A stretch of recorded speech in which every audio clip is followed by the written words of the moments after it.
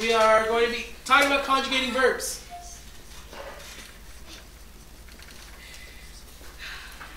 Like I mentioned, this is probably the single most important concept to know in the Spanish language. Does anybody know what conjugating verbs is?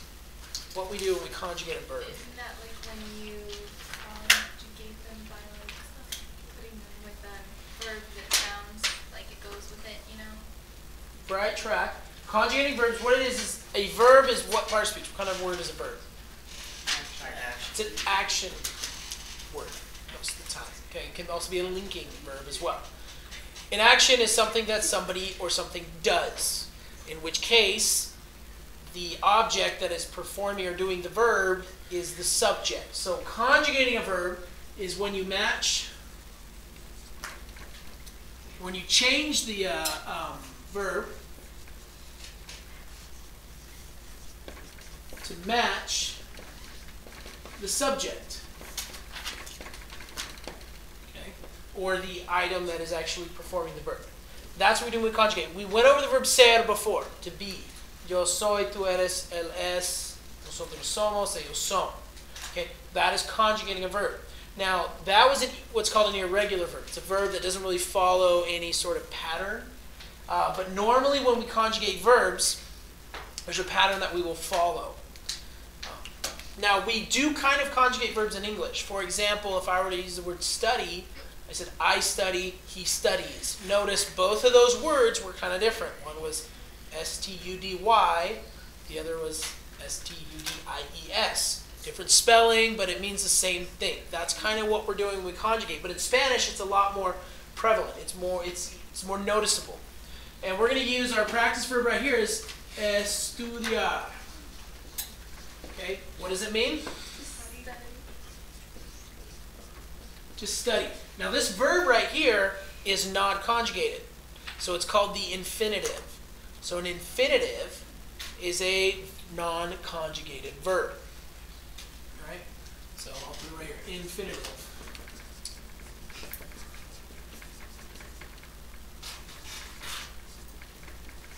How is that infinitive? Because uh, the way I look at it is you kind of see the word infinite in there, and there's not a specific subject it's talking about, so it can be used in an infinite amount of situations. You know, I'm not specifically saying I'm studying or you're studying. I'm just saying to study. For example, like I want to study. He wants to study. There's no specific subject affecting that word uh, in the language here. So we have to say it out. Verbs have two parts to them. They have what's called the stem, and then they have what's called the ending.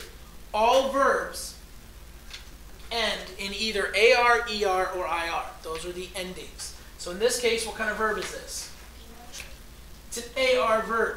It ends in AR, which means everything else is called the stem. Okay?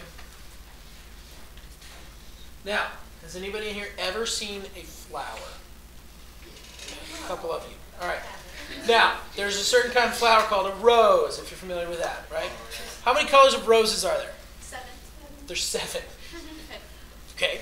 There's, uh, I might be more, maybe there are only seven. So we have red roses, Pink.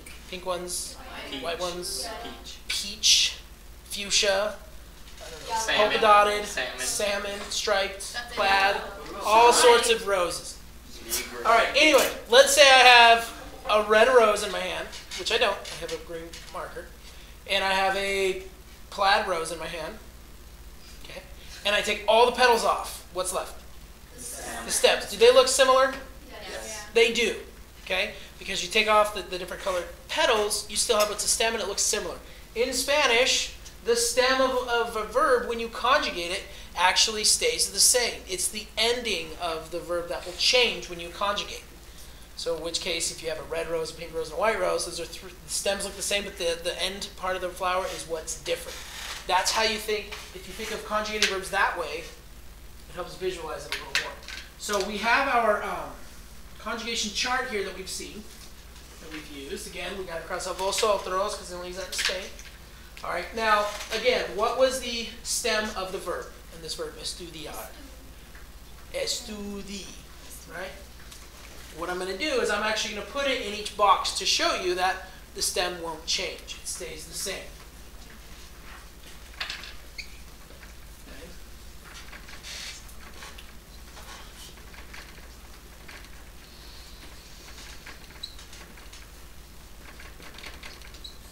Now, in each of these boxes, do we remember what, uh, what they represent? Which pronouns? Each of these represents a different subject or different pronoun. Do we remember what they represent? That first one, this top left one, what, what form is that? That's the, the yo form. What does yo mean? I. Right. And we have the second one. Which one's this? Tú. What does that mean? You. You. Then down here, what do we got? Okay, I think I heard el, ella, usted. Okay, what does el mean? El. Okay. Ella. Usted. It's you, but formal, right? It's the same as this, but formal. Then up here, top right, what do we got? Nosotros.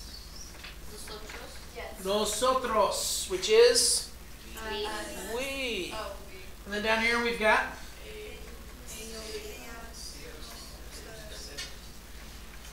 ellos, ellas, ustedes. Ellos is they. Ellas is they, but girls. Ustedes, it's you all. Notice usted is you, ustedes is plural, so it means you plural. Okay, remember how we set it up. First person, second person, third person, singular plural. Granted, the usted, ustedes is the second person, but it falls into that third person category.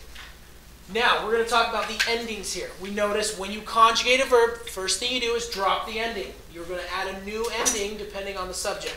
So, if it's the I form, the yo form, and I was to say, I study, what you do is with regular AR verbs, these are regular ones, and they're only for AR verbs, well, all of these endings, you you would add an O. So, yo estudio I study. If I wanted to say, you study, okay, I would drop the AR and I would add AS. Estudias. Yo estudio, tú estudias. Why wouldn't you put an A after, after um, yo is the, Because the yo form ends in an O. It's the way it is. You might be thinking of gender, maybe, like masculine, feminine. That's only for, for uh, adjectives and nouns. Nouns have gender, adjectives match the gender. Verbs don't. Verbs have subjects, different uh, points of view. All right. Then we have ele usted. If you wanted to say he or she studies, or you study, but formal, what you do is you would drop the AR and you add A. And that's another reason why. This one is you add an A. So it'd be yo estudio, tú estudias, él estudia, or ella estudia, or usted estudia. Now with nosotros, we would be saying we study. You usually you'll drop the AR of the verb and you add AMOS. Amos. So becomes nosotros estudiamos. Okay? Yo estudio, tú estudias, él estudia, ella estudia, usted estudia, nosotros estudiamos. And finally, with ellos, ustedes, that means they or you all. So they study or you all study.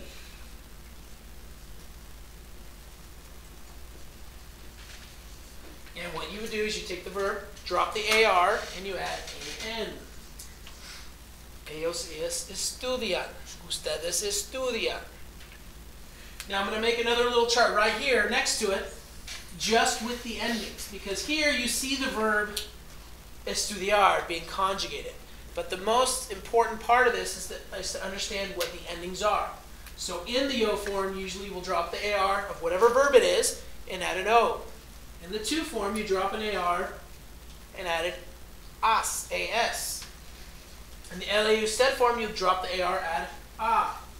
In the nosotros form, you drop the AR and add amos. And in the ellos ustedes form, drop the AR and add an. When I was learning Spanish, when I learned how to conjugate, I would just repeat in my mind, o, as, a, amos, an. Oh, o, as, a, amos, an. Go over and over again to remember, because if I, I visualize this and go oh, o, as, a, amos, an, I knew what they were. Students tend to get these two mixed up a lot because this ends as, so you think plural, so it must be this one, but it's not. Okay, so oh, o, as, a, amos, an. Make sure that now again, all AR verbs. If it's hablar, H A B L A R, drop the AR, hablo, hablas, habla, hablamos, hablan. Are there any questions on conjugating?